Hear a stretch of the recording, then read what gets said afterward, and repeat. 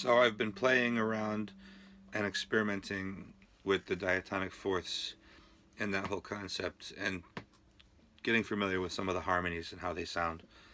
So, like, I started with the minor chords for some reason.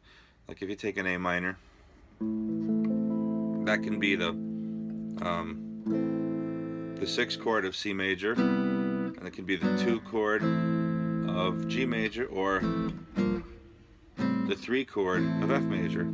So if you keep A as a drone, you can produce um, three different A minor substitutions there.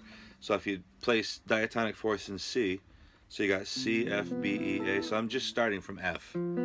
It's like the first, the second shape. First you have, first I have um, C, F. So it starts from the second fourth. F, B, E, A. So that shape remains throughout. That's just like, I call it the first shape, because then you have all the other ones, you know. But anyway, um, back to this. So, in the key of C with an A on the bottom, that would be your A minor.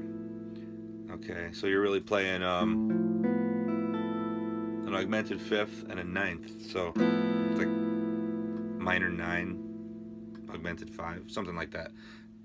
I need to brush up on the actual terminology. Anyway, um, now if you're in the key of G, use diatonic fourths in G. Same shape, put an A there. Now you're playing an A minor from the perspective of the key of G.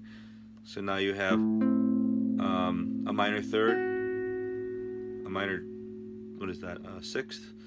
Yeah, um, or an augmented fifth, whatever you want to call it. Um, then chord tones. So anyway, um, that's a completely different minor chord.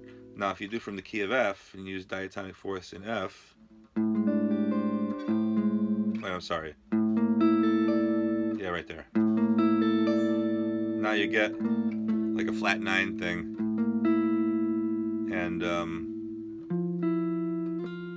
and a major seventh, major seven, flat nine, something like that. Um, so you have three different A minor sounds, and they're all interchangeable. You don't have to be in, in the key of G to use this one, and in the key of C to use that one. That's what's cool. So like, even for like chord kind of stuff, you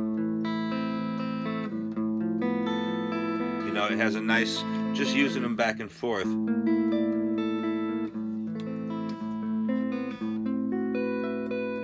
know, you know, and just mixing within.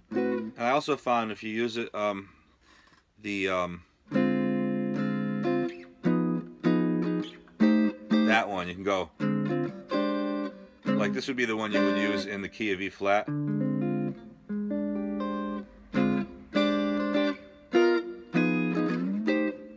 know, like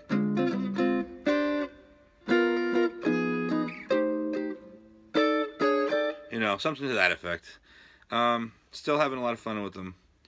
So um, that's it for now.